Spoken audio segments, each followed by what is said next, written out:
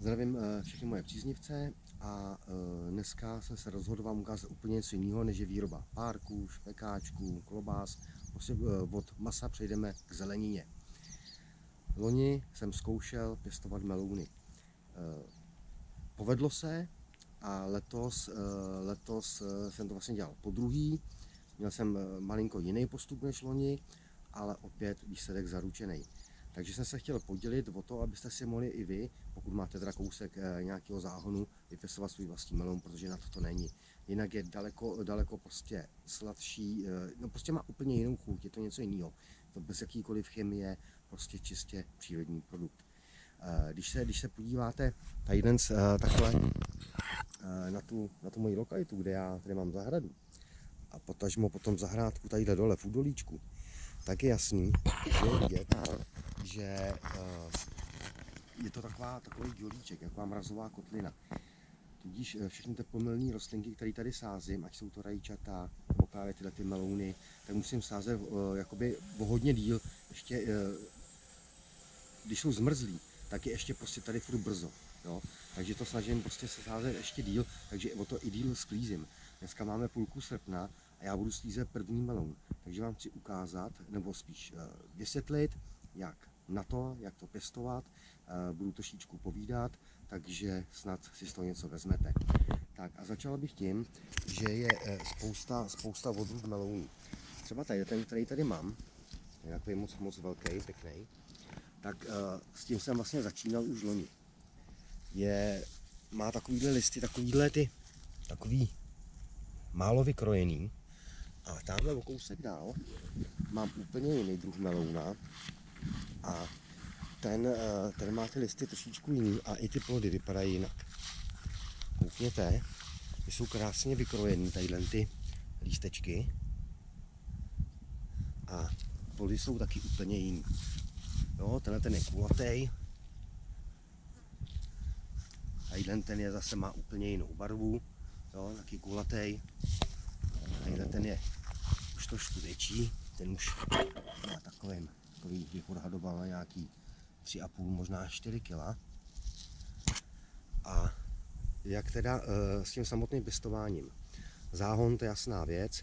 Důležitý je eh, dávat si semínka do země doma v pokojové teplotě, která je kolem 20 nebo spíš, spíš nad 20 stupňů, no, já nevím. Čím víc, prostě tím líp, no, 23, 24 a tak dále. Eh, sázet zase podle, podle podmínek, kde to budete mít. Když to budete mít jako já tady, kde prostě musím dávat eh, na záhon až eh, začátkem června, tak eh, stačí, když se semínka dají do země, někdy já nevím, v, po půlce dubna, ke konci dubnu, prostě ten měsíc a půl nebo měsíc stačí na to, aby ty semínka dobře sklíčily a udělali se hezký sazeničky. Samozřejmě čím větší sazenička půjde ven na záhon, tím lépe, jenomže, jenomže samozřejmě, eh, jak vidíte, se je to prostě rostlina obrovská a tam, tam je prostě eh, někde za oknem v teple mít velkou sazenici není moc reálný. Eh, takže jakmile vám sklíčí semínka, držet to, co nejdíl to jde, ohlídat si, ohlídat si, aby prostě nemrzlo a hurá s tím na záhon. Samozřejmě nejlepší je sluný místo, kde prostě sluníčko jde celý den, od rána až do večera, což je i tady ten příklad. Ten záhon je opravdu hodně, hodně velký a jsou na něm tři semínka a jak vidíte, tak se to rozrůstá úplně všude možně. Už to roze do trávy, dáme do kedlubnu a to ještě, ještě, ještě to poroste. No. Hmm. Co se týče potom samotného pestování, takže tu sazeničku eh, do dobře vyhnojené země, nejlepší je udělat nějaký si větší, třeba v průměru metrový důlek, eh, dát tam nějaký hnůj nebo prostě něco takového organického a zalejvat, eh, jak se říká, sporadicky. Ne vyloženě jako kaktus, ale jednou za čas, nevím, jednou za dva, za tři dny, dobře zalejt, samozřejmě, když to bude na sluníčku. Když bude pod mrakem, když nebude počasí, tak se ani zalejvat nemusí. Eh, meloun má rád eh, vodu, ale jenom nárazovou. Jo, víte sami dobře, když jste někdy jeli třeba na dovolenou někam do, já nevím, do těch jižnějších států, kde se melouny pěstují eh, běžně na polích, jako já nevím, třeba Bulharsko, a Chorvatsko, no prostě na, na jihu Evropy, tak tam eh, jste přijeli na dovolenou na 14 dní a ono vám třeba ani nekáplo. Jo, takže i to samý ten melon takhle má rád, prostě teploučko a zalejvat prostě jednou za čas. No jako v přírodě, když zaprší. Uh, Tohle, jak jsem říkal, jsou tři semínka, to znamená, že se hodně moc rozrůstá. Fakt to chce velký prostor.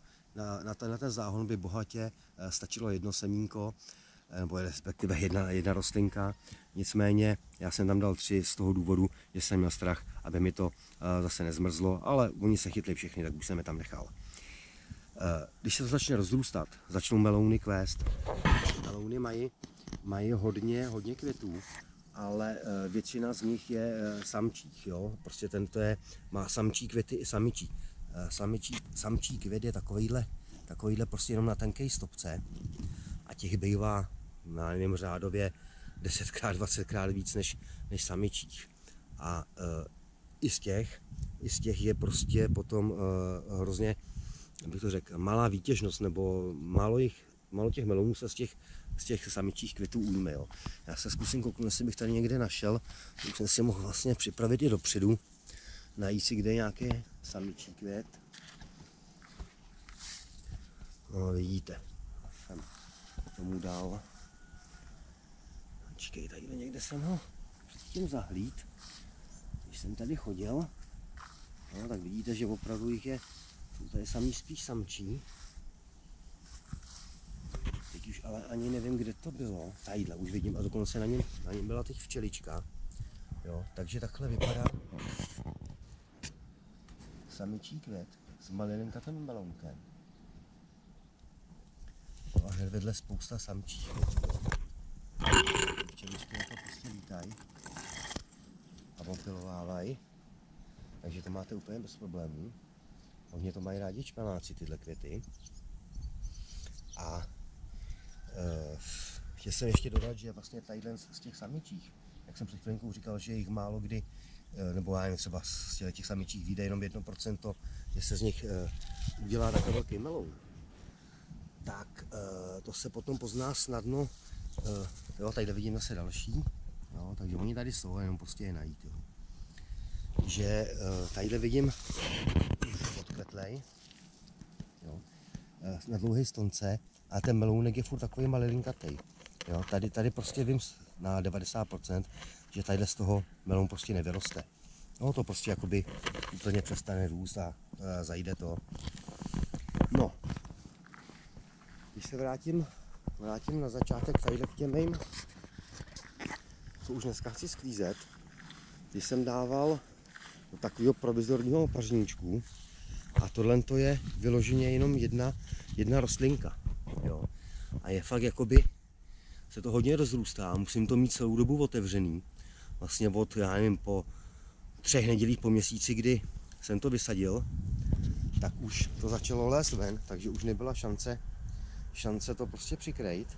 A vůbec nevadí, protože oni většinou ty melouny jsou na, na těch eh, dlouhých stonkách. Eh, tadyhle vím, že tadyhle se mi jeden roste vevnitř a je takový, takový, takový no. má to tak něco přes kilo a už je tady možná 14 dní, jestli ne díl, jo.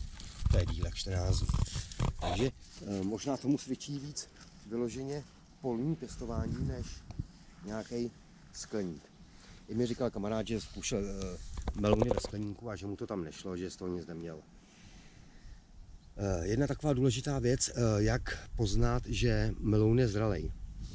To samozřejmě do něj nevidíme, takže to je docela obtížný. Protože jsem na internetu spoustu eh, možných receptů eh, na to, jak to poznat. Eh, mně se osvědčil jeden jediný způsob. A to je ten, že když meloun roste, tak samozřejmě je to vidět pohyma očima, protože ten roste každý den. Ale když už je narostlej, velký, tak potom už to jakoby uh, furt zkresluje a člověk si myslí, že je furt stejný. Takže já si prostě vezmu klacíček, takhle si ho zapíchnu, udělám zhruba tak, já nevím, necel, ani ne centimetrovou škvíru mezi melounem a mezi tím klacíkem a vidím, jak ten meloun každý den přirůstá. E, vyjde to zhruba tak na nějakých, já nevím, 1 cm za den nebo za den a půl. Jo. Takže pokud mám klacík nalepený na melounu, samozřejmě meloun roste. Když ho mám také odendaný, tak uh, meloun přestal růst. A v té době, co přestal růst, jako je to v tomhle případě, tak ho zhruba tak po nějakých pěti dnech eh, začnu, začínám sklízet. Doufám, že tady si nemelu hubu jenom tak a chci vám ukázat opravdu, jak eh, vypadá vevnitř, takže doufejme, že se to povede. Nevím, kolik bych tak mohl odhadnout, netroufám si 7 kg, 8, nemám zdání. Třeba tenhle ten druhý melounek, ten je mladší. No, tam ten, ten začal růst zhruba tak asi o 10 nebo až 14 dní později než táme ten. A ten pořád, ten pořád roste. Jo. Tady pořád klacík popondavám, popondavám a furt zjišťuju, že prostě meloun přirůstá a přirůstá. Jo. Tam ten, ten první, co budeme sklízet, tak ten, ten už neroste. A přesto tenhle ten vypadá, že bude větší.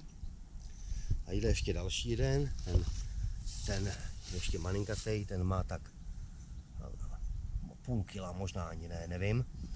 Ale ten, i ten má šanci ještě dozrát, i přesto, že už se blíží, blíží konec prázdnin, že přijde září, podzim a samozřejmě chladnější rána, ale on to, on to zvládne. Pokud nebude mrznout, tak on to dá.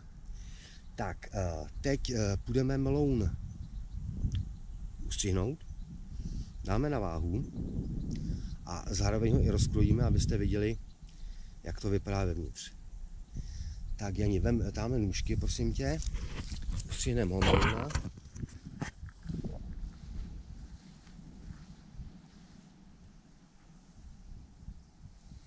Tak, je to vlastně sklizení de facto v téměř přímém přenosu. Tak, meloun je oddělený. Ukáž potěžkej. Hmm. Těžký, těžký. Tak, dáme ho na váhu. Už máme tady vycentrovanou, dáme ji trošičku tadyhle.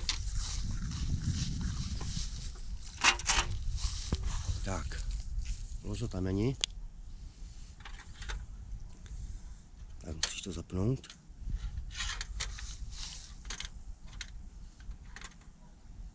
Takže sedm a k tomu přidávej.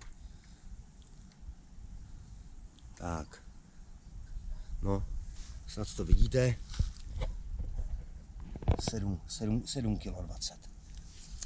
Tak a teď přijde ten okamžik pravdy. Koukneme do něj a uvidíme.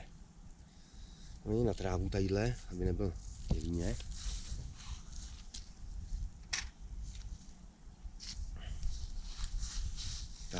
Tak, rozklej na půl.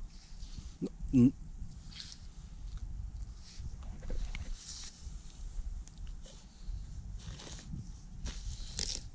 Tak, držte palce.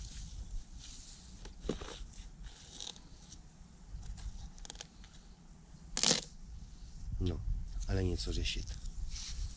Melon krásně červený.